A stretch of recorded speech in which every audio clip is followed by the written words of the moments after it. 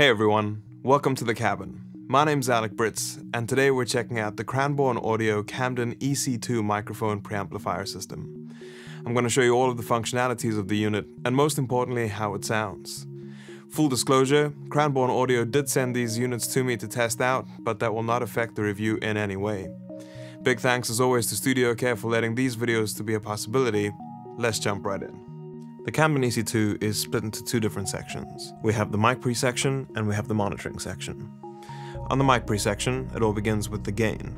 This is a step switch with 5.5 decibels of gain per step. You have 8 to 68.5 dBs of gain. You select what input you would like, starting with mic, line, and high Z. Down here we have our 48 volt phantom power. Currently it is on, and if you turn it off, it shows an orange LED. This is really important because it shows you when there is still current in the circuit. So if you were to plug in a ribbon microphone, for example, when this light turns off, then the unit's ready to go and won't hurt any of the circuitry. Then we have a high Z or line input. This will bypass the cast system, which we will get to in just a little bit. The next thing I want to talk about is the Mojo section. This is what really sets this mic pre apart from anything else. The Mojo section adds harmonics, and you have two different circuits that you can pick from. You have the thump or the cream circuit. The thump circuit is really great for things that have quite a thick tonal quality to them, and if you want to bolster it by adding more low frequencies, then this is a really great way to do that. You switch it on with the switch, and then you blend in how much you would like to add. With thump, it's really useful on things like kick drums, bass guitars, or if you want to add a bit of thickness to the human voice, it's very easily done with this knob. The next thing I want to talk about is the cream section. The cream circuit adds a bit of grit or a bit of bite. So if you have a DI electric guitar with a pedal, you can get almost amp-like sounds from it. It's also really useful if you're double tracking vocals and you want to have a bit more of a gritty double or triple track. This is a great way to add quite a lot of tone very easily. One of the best things about this is the fact that it doesn't add noise the more that you turn it in. Let's move on to the monitoring section. So as you can see we have two headphone amplifiers, showing channel 1 and channel 2 over here, that is just these two channels like this, and then underneath we have our aux in or cast inputs. I'll talk a little bit more about this when we go into the cast system in just a bit.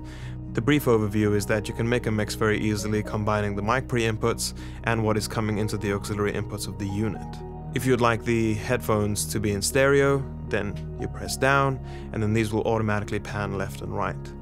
These are very powerful headphone amplifiers and had no issue driving my Neumann NDH20s at all. The last thing I want to talk about is the power switch. Now usually there's not much to say besides something turning on and off, but you have to hold this down to turn it on and hold it down to turn it off. I really like this because this unit is designed to live both in the live room and in the control room. And because there's a lot of activity in both of those rooms, you won't accidentally switch it off. On the rear of the unit, it all starts with power. We have this nice sturdy locking mechanism to an external power supply, and then we have a ground. The next thing to talk about is the cast system. The cast system basically integrates all of Cranborne's gear to work together. You can take the cast outputs of this unit and put it directly into the back of the 500 series units, either the ADAT or the USB, and it allows you to be able to keep this box inside of the live room while being able to use it as a headphone amplifier and a microphone preamplifier. We have our aux inputs after that. Again, you can send signals from your DAW into this, and that will feed directly into the headphone amplifiers we spoke about earlier. The next thing to talk about is the outputs. We have XLR and TRS output, and a ground lift switch on the output section. The next thing to talk about is the link. The link system essentially turns this box into a reamping box. So, hypothetically, if you wanted to record an electric guitar and you wanted the DI sound, you could come into the front of the unit on channel 1, take the link output, put that into an amplifier, put a microphone in front of the amplifier, plug that microphone into input 2, and voila, you record inputs 1 and 2, you have your DI sound, and you have the amplified sound for flexibility later. On the input side of things, we have an XLR input at the back, and then we have the cast in switch. Now you'll notice there's a cast in switch over here and over here. That ties nicely into this port. So using either the N22 or the N22H boxes, it allows you to be able to use those boxes as a stage box, and all you need is one Cat5 or Cat7 cable. You plug in your microphones straight into that, and then you don't have to have this inside of the live room or in the performance area. So if you're recording at home and you have this next to your laptop, you can have somebody in the living room or the bedroom, and instead of having an audio snake which costs a lot of money, all you need is one Cat5 cable and you're good to go. So over here we have the N22, and it's essentially a stage box. It allows you to have access to inputs 1 and 2, outputs 1 and 2 on TRS or on XLR. Next up you get to hear how this unit sounds. I hope you enjoy, and I'll see you at the end with my thoughts.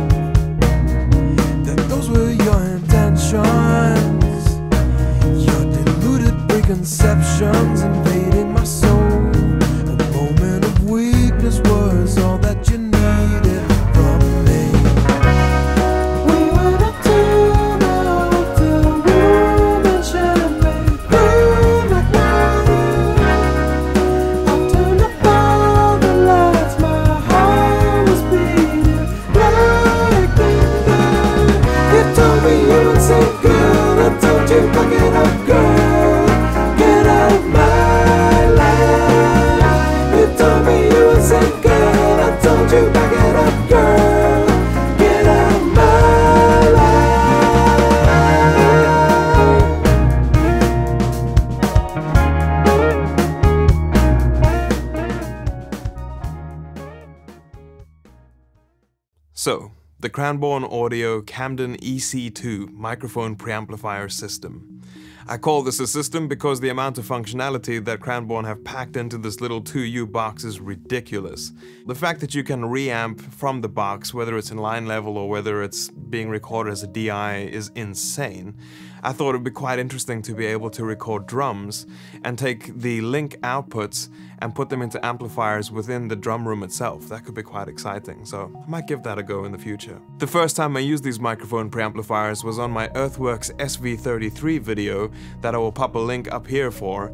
Highly recommend checking that out because that really shows what these mic pre's are like with a very transparent microphone. Not only do you have some of the cleanest microphone preamplifiers I've ever heard, but you can absolutely mangle audio or just subtly thicken something up is unbelievable. On that track you heard a second ago, I tracked the lead vocal with a crystal clear, clean AKG C414 with really gritty, fuzzy little triple track vocals on the side. It took me like 10 seconds to dial that in because it just worked. It's just, yeah, I want a bit more grit, I want it to sound fuzzy. Okay, click on that much. How much? All of it. Thank you, that's great. Then the fact that there's a whole monitoring system built into this, and if you have one of the 500 RBs or the 500 ADATs, you can link this whole system together. You can put all these inside the live room, then you have headphone amplifiers, you have mic preamplifiers all in the same place.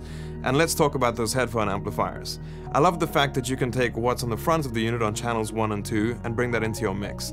And then you can bring in the auxiliaries or use the cast system to be able to customize your headphone mix exactly how you want it. Sometimes you use something and you realize the people who have designed this have had to solve a lot of problems. and those are the best products when you go oh man i need a reamp box oh no don't worry this is this has just got that in there oh yeah cool i need like a, a box that can give me some grit and some grunge yeah, no, this can do that as well. Okay, but I want to do like classical microphone recording stuff. It needs to be really clean and transparent. No, no, this this is this is here. This is the same box. Ah, man, I want to have a live room, but I can't afford all the cabling. Well, you can probably afford some Cat 7 cabling and, you know, just get a couple of these little ND22 boxes and you're pretty much ready to go. I'm really excited to review the Cranborne 500RB module that's behind me because I'm excited to put this Camden EC2 with it and to see how the whole system kind of interacts. I hope that it does exactly what I wanted to because that could be such a beautiful portable rig. There's a couple things that I would change. The first is all the switches on the back I would like to have in the front. So your ground lift and your cast input setting, that would be great in the front because this stuff lives in a rack and usually getting to the back of racks is a little bit difficult. The other thing that I would like to change is the Mojo controls bypassability. So to bypass the Mojo, you need to turn everything that you've just dialed in off.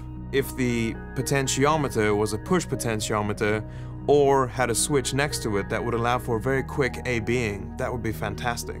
Like I said before, this is engineered with the consumer in mind.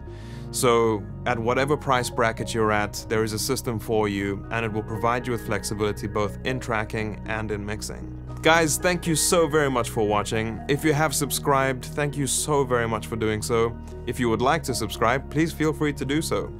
Most importantly, I hope you're looking after yourselves and you're being kind. See you soon.